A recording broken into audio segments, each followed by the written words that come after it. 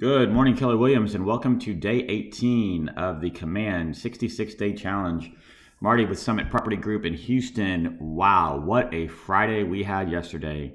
If you haven't watched the two videos that I uploaded yesterday with regards to several of the new changes that have happened within Command, do yourself a favor and check those out. They're super short and yet super impactful with regards to some of the new things that are happening in Command. Today we're going to be in the opportunities submenu. Again, this is changing to sales pipeline very soon. So you'll actually see sales pipeline is listed here. Um, with regards to GCI, we're going to talk about percentages and how this GCI is kind of uh, calculated, if you will. So you can see with regards to listings, I have three listings inputted into my sales pipeline. One is in the appointment stage, one is in the active, and one is under contract, right? So with regards to these three, the system is telling me that my probable income is just about 2500 however my potential income is over 10000 well how can that be?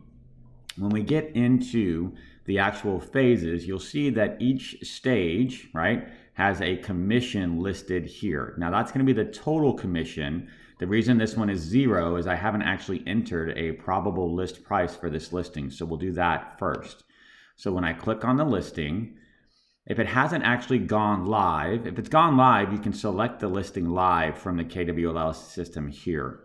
If the listing hasn't gone live, you can put in the estimated list price. So let's say it's 300,000. Okay, so there's the estimated list price. I'm going to come down to the bottom and click on save. Once that gets saved, I can come back to my pipeline and you'll see the commission has updated to $9,000. So if I go back to my pipeline, well, then that should have increased by $9,000, right? Well, the potential income did, but the probable income didn't necessarily do all the way to $9,000. So why did that happen? Well, that's based upon the percentages that you have put in. So if we go back to under contract and we say edit stages, the escrow stage shows a 90% probability once I get this listing under contract and into escrow, I know based upon this system, it shows that that's a 90% probability that that's going to close, that I'm going to get paid.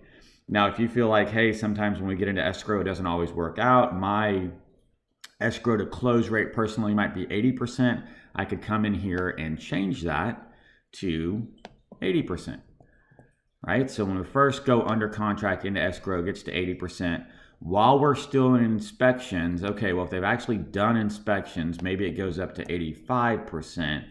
And once we get through the option period, at least that's what we call it here in Texas, get through the option period and we're into the appraisal and financing period, it goes up to 90%. Once I have clear to close, I would say that's probably about 99% of the time we've got clear to close that the deal will close. So I'm going to change that probability. Now, once we have those done, we can come back to the sales pipeline. And then this commission will always be 9,000. That's based upon the commission percentage that I put in and the estimated sales price. So 300,000 commission rate of 3%. So that's always going to stay at whatever that math is, 9,000. However, let's look at the sales pipeline. Right now it says probable income 9675. All right, so let's go back to that transaction that we had and let's move it over a little bit. And you can see down here at the bottom, it actually says probable versus potential. So if I move it into X uh, inspections, excuse me, it goes from 7,200 to 7,650. Now, once I get out of option period, we said that that went up even higher. So now I'm at 8,100 and then if we keep sliding over, well, we said, hey, if it gets to clear to close, I've got a 99% chance of actually getting paid. You'll see down here at the bottom, probable income 89 with potential income. Chat kind of covers it, but that says 9,000. If I go back to my pipeline now, you'll see, right, that the probable income has now gone up to 11,385. Potential income is only at 19,350 because remember I have these other two listings, one's active and one's still in the appointment phase. My percentages in the appointment phase might be significantly lower. And then even once I get them active, there's still a chance they may not close, right? We may have them expire, hopefully not. And yet you guys can go into each one, starting with Cultivate, edit your stage, and then change your percentages within here. Okay, so for each one of your stages, you can customize the probability, which then once you get to your sales pipeline, it will show you, okay, overall, what is my potential or probable income, excuse me, and what's my potential income. If every single one of my transactions closed, I would have potential income of almost 20 grand.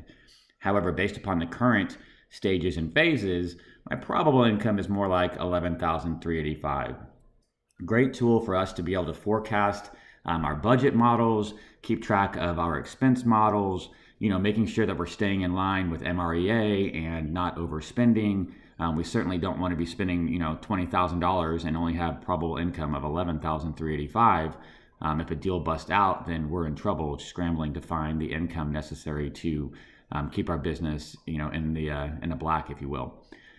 So that's it, guys. That is day 18, the Command 66 Day Challenge. Get in here, get into sales pipeline. You can even create an opportunity. Just create a test one like I did, right? I just created a test contact, Mr. Seller, a seller, right? And then I created an opportunity based off of that. Um, we'll do some of that and we'll be sending some offers about our opportunities here coming up soon as well. So hope you guys are having an amazing weekend. As always, I look forward to speaking with you in the morning.